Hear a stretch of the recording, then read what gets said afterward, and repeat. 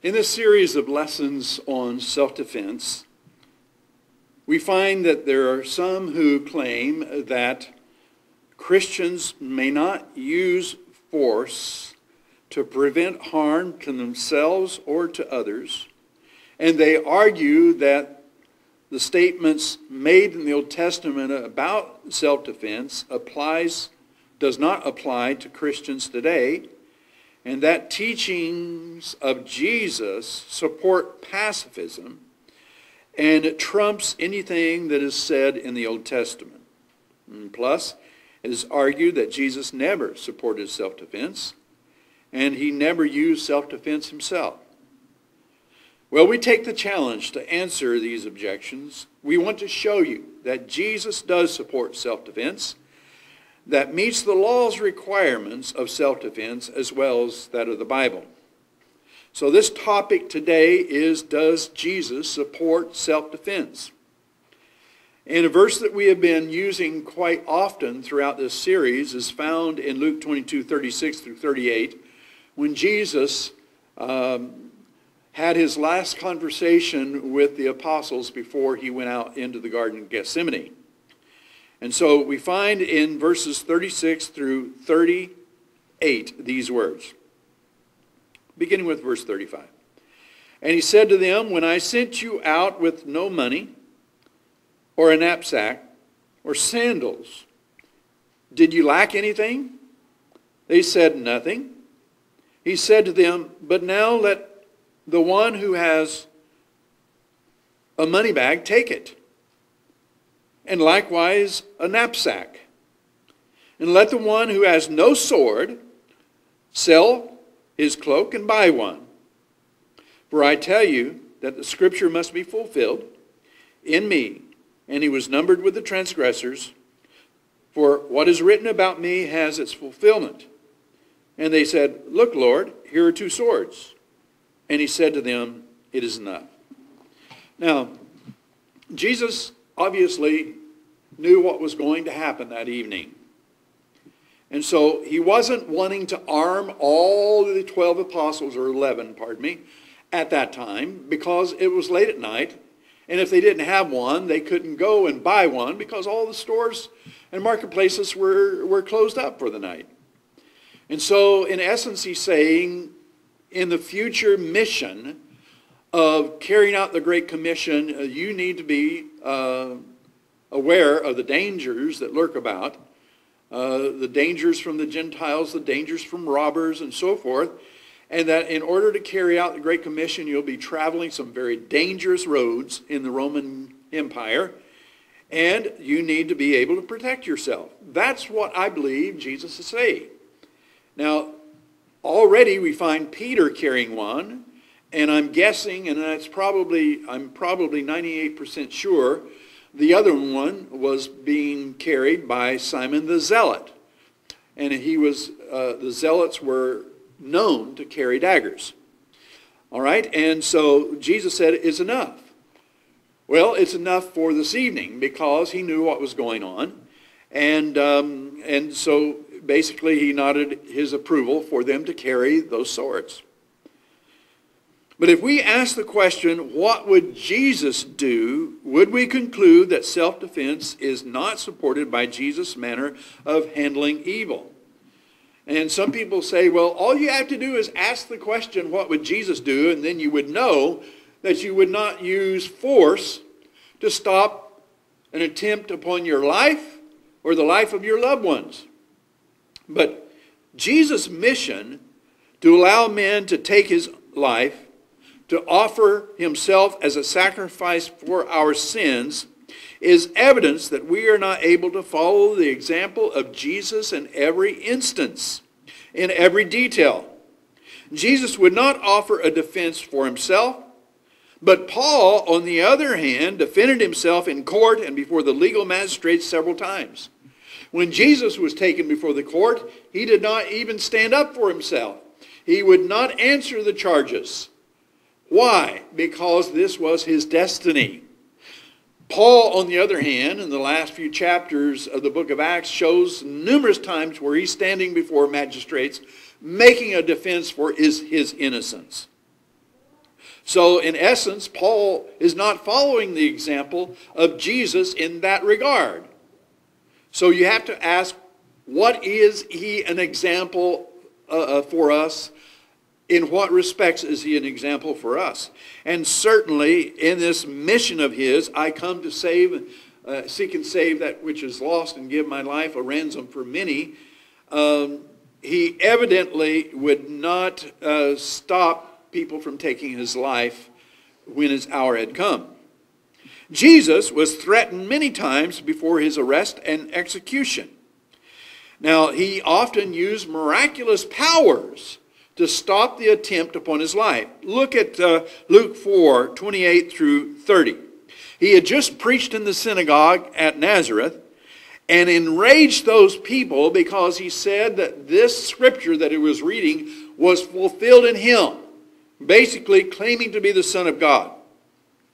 And then in verses 30, uh, 28 through 30, it says, And all the people in the synagogue were filled with rage as they heard these things, and they got up and drove him out of the city and led him to the brow of the hill on which the city had been built in order to throw him down the cliff. Well, what did Jesus do?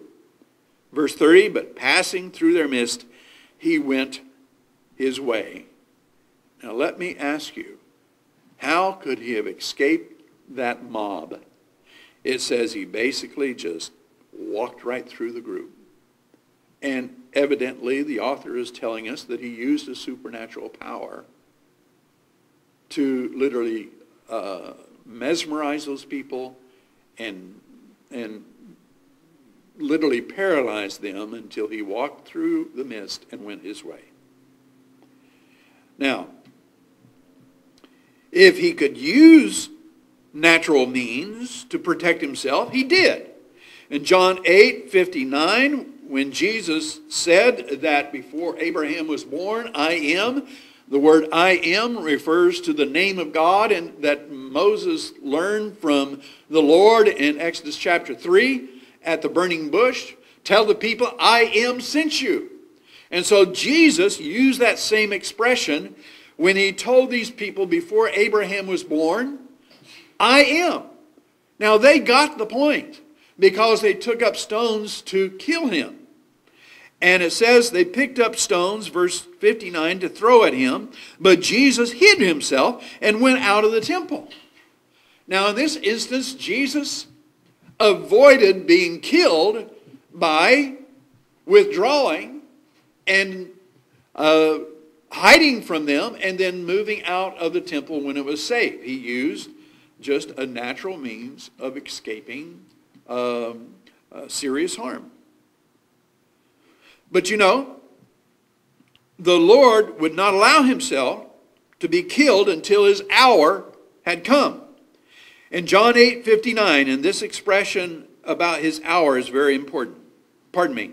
In John 7 and verse 30, they were seeking, therefore, to seize him, and no man laid his hand on him because, it says, his hour had not yet come. All right? John is saying that really no attempt on Jesus' life would not be successful because his hour, that is, the day of crucifixion, had not come. In John 8 and verse 20, these words he spoke in the treasury as he taught in the temple, and no one seized him because his hour had not yet come. And then notice the transition in chapter 12 of John in verse 27. Now my soul has become troubled. Chapter 12 is getting closer to the time of his arrest and execution. Now my soul has become troubled. And what shall I say? Father, save me from this hour? That hour? He says, But for this purpose I came to this hour. Next, in chapter 13, in verse 1, now before the feast of the Passover, just before his arrest, Jesus, knowing that his hour had come, that he should depart out of this world to the Father, having loved his own who were in the world, he loved them to the end. And then his high priestly prayer in John 17, just before he went out into um, the, the garden, he says, These things Jesus spoke. And lifting up his eyes to heaven, he said, Father, the hour has come. Glorify thy Son, that the Son may glorify you. So the point is very clear that Jesus is, uh, Jesus is defending himself in any way that he chooses, whether or not it's miraculous or natural, to hinder any successful attempt to take his life. And what we find in John chapter 10 is it, it cinches this up very clearly. Notice 17 and 18. For this reason the Father loves me, because I lay down my life so that I may take it again.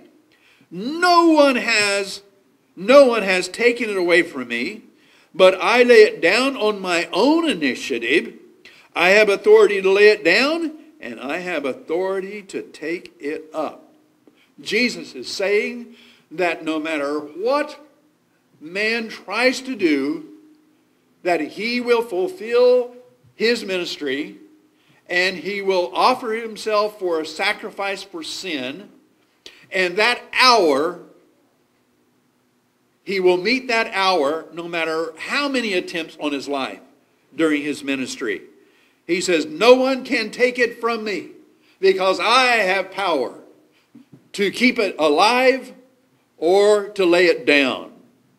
And so Jesus doesn't serve an example of stopping a murderous attempt uh, uh, by others.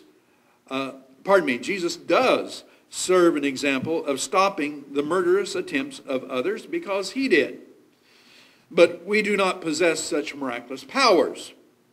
And, but we do have the example of using every method to escape a dangerous situation.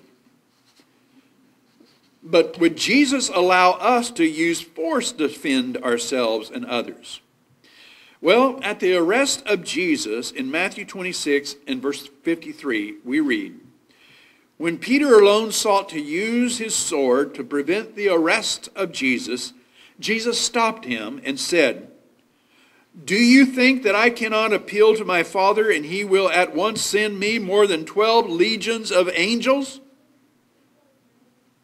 But how then could the scriptures be fulfilled that it must be so? Jesus is saying that I wouldn't hesitate to use force to stop this if I wanted to, and if this didn't serve the purpose for which I came. Obviously, the force would be just enough and as much as would be needed in a given situation. And these are a few points about justifiable self defense that this statement, uh, statement suggests. The force used was the force that a sensible, rational, and prudent person would feel justified in using to stop an attack in a similar situation. That the force was proportional, not excessive. If you can talk someone out of a violent act or attack, it, would, it should be done. If you can escape the situation without using lethal force, you are encouraged by the law to do it and by the Lord, by example. If you could, but didn't, then the use of force was illegal. Plus, once it is discovered that the danger had, uh, had been stopped before any harm done, then the use of force is not for self defense. But now the man who made the threats becomes the victim and is guaranteed the same due process of law as you if you were harmed. And so we have to be very careful about the use of self defense. It has to be legitimate within the justification of the law. And Jesus used force to stop an evil from continuing. Turn with me to John chapter 2. John chapter 2, Jesus drives the money changers out of the temple. In verses 13 through 17, we find that Jesus, uh, on the Passover, went to Jerusalem, and in the temple he found those who were selling oxen and sheep and pigeons and money changers sitting there. And making a whip of cords, he drove all out of the temple, along with the sheep and the oxen. And he poured out the coins of the money changers and overturned their tables. And he told those who sold the pigeons, Take these things away. Do not make my father's house a house of trade. His disciples remembered that it was written, Zeal for your house will consume me. Now, all the other uh, gospel accounts record this as well. And these greedy merchants were making a sizable profit off those who would come to worship from foreign countries who would have to cha- exchange their, uh, their foreign currency into Jewish currency. And of course, they would charge an exorbitant fee for that service. And and also, they would have to purchase sacrificial animals because they wouldn't all bring them with them from long distances. And these greedy merchants would set up stalls and cages for sacrificial animals and birds in the temple precincts upon the approval of the high priest. So evidently, the approval of the high priest suggests that he was getting a kickback for allowing them to set up uh, this in the temple precincts. And Jesus saw this by his describing their actions as taking, turning the house of prayer into a den of robbers in Matthew 21, 13, and a house of merchandise in John 2, 16. So we see that Jesus felt a moral obligation to stop this evil from continuing. Also, he just he used just enough force to accomplish this. It was not, pardon the pun, overkill. Notice the statement according to Mark's account, and he would not allow anyone to carry anything through the temple. Mark 11 verse 16. Do you see how Jesus is standing there in a very defensive mode? He drove out the money changers, and can you imagine this one man doing this to the money changers? They felt like they had a right there. Jesus was not arrested. And, and yet we can see that Jesus is acting uh, to protect the holiness of the temple. He used force, proportional force. Remember that. Now, now turn with me to Matthew 13, 29. Jesus was accused of uh, casting out demons by the power of Satan, Beelzebul. And Jesus uh, shows the irrationality of this. How, why would Satan uh, empower him to cast out Satan's angels out of people, demons? That's ridiculous. But Jesus answering the charge that he cast out demons by the power of the devil showed how irrational this would be. And then he gave an illustration that shows Jesus' approval of self-defense and agrees with the Old Testament law that approves defense against home invasion, Exodus 22, 2 and 3 that we referred to last week. Jesus said, how can anyone enter the strong man's house and carry off his property unless he binds the strong man first? Now, evidently, we're talking about a home invasion of a wealthy man who has prepared himself Strong man may not only refer to his muscularity, but it might be because he was trained uh, to protect himself with a sword or whatever. Now, in Luke chapter 8, it says, When a strong man fully armed guards his own palace, his, good, uh, his goods are in peace. But when a stronger man assails him and overcomes him, he takes away his armor in which he trusted and divides the spoils. Jesus' matter of fact use of this analogy uh, means that both he and his audience accepted the Old Testament teaching of self defense. And when Jesus felt a need to correct an abuse of the law, as he does in Matthew 5 with regard to a lot of things, he never said you should help others unless it requires the use of force. Now, Jesus taught what is called by authorities the sliding scale of force uh, continuum, which means that the use of force is proportional depending upon the situation. When the large group of temple police and civilians came to arrest Jesus, our Lord said to them, Have you come out with swords and clubs to arrest me as against a robber? In Mark 14 48. Jesus was no threat to these men. Jesus never, ever, ever used a sword against anybody. There wasn't evidence sufficient to warrant arresting Jesus with force anyway. He implies clearly that force may be necessary to arrest a violent criminal, but that he did not qualify. He does not negate the right to use force to arrest or stop a criminal, but he denies that they didn't have really a right to treat him this way. And so he puts the proper use of force in contrast with the improper use of it. You know, Jesus' careful use of words for taking of human life is very important.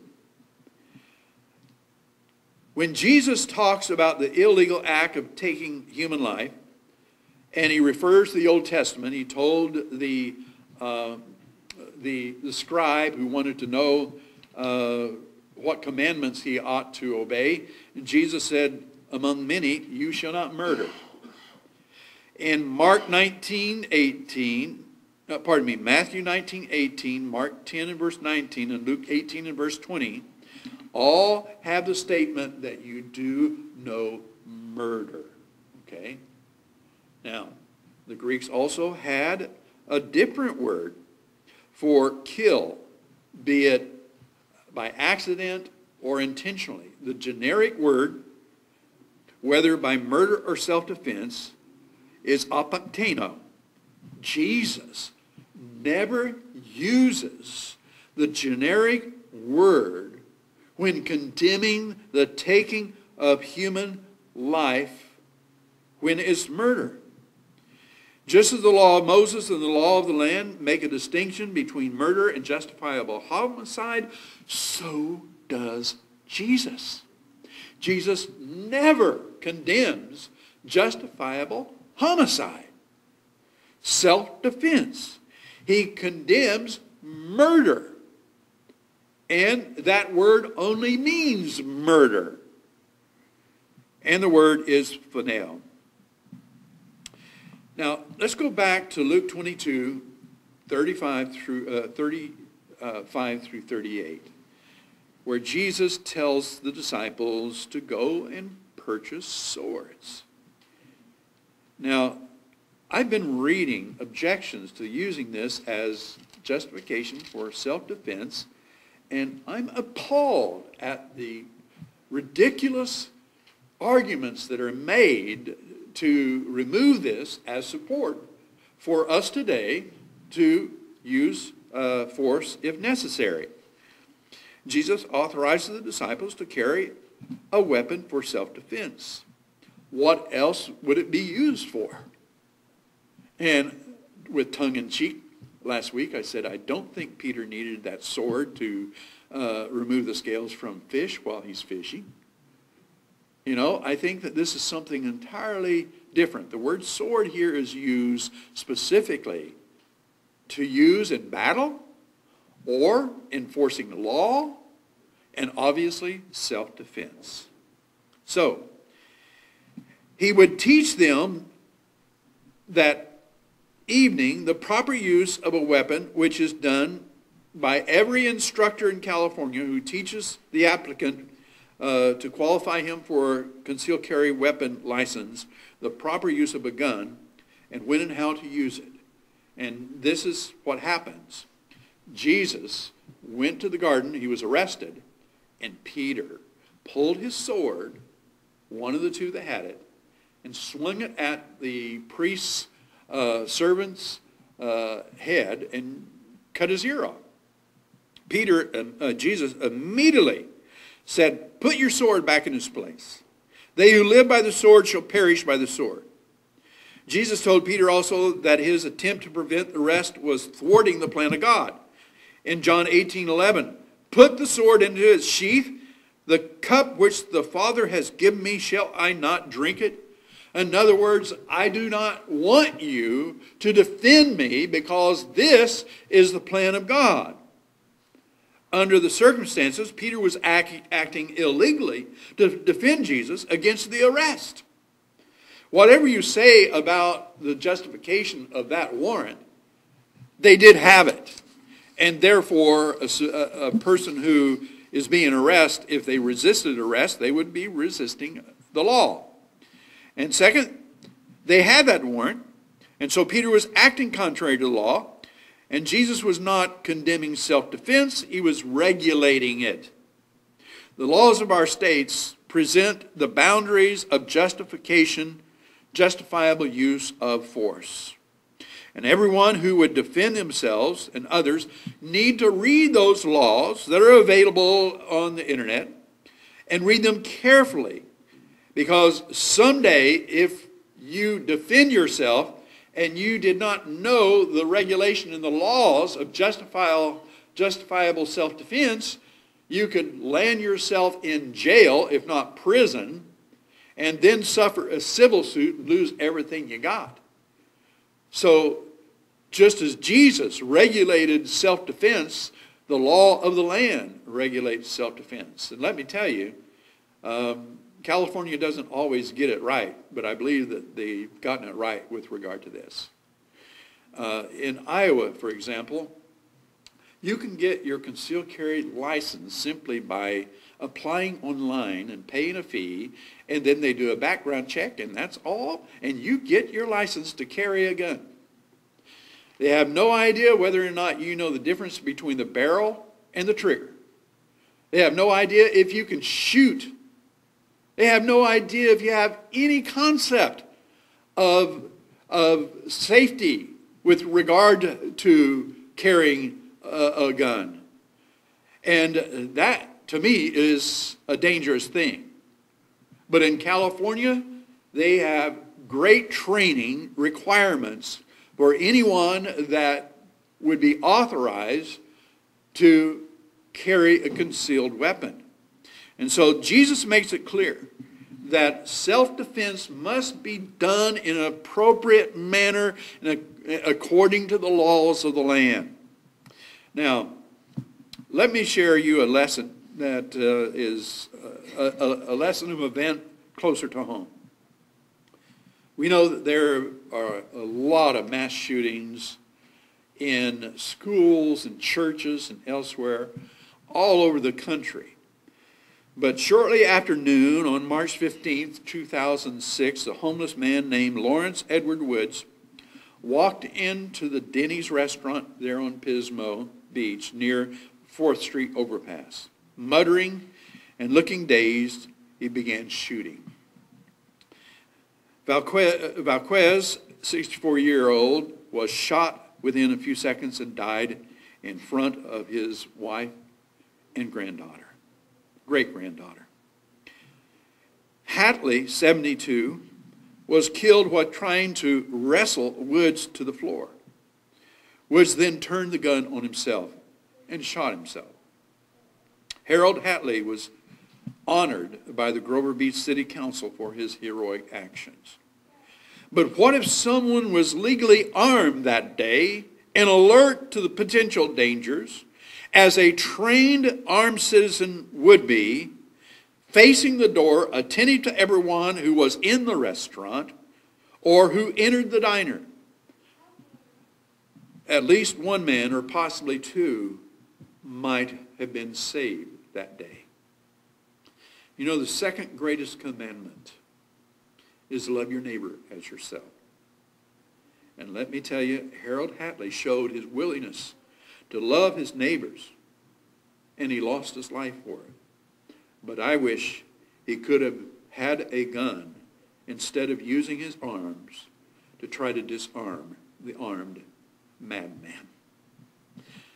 So Jesus obviously does not condemn self-defense. He used it, and also he promoted in telling the disciples that in dangerous situations you ought to be armed. And so I want to share one more lesson on this vital subject, although we said it'd only be three. And that's the role of the church leaders as shepherds of the flock, who must protect the flock from danger. And so I'm titling next Sunday's lesson, Defending the Flock, and hope you'll be there for that. We're going to close this lesson by offering them an invitation if you have not been baptized.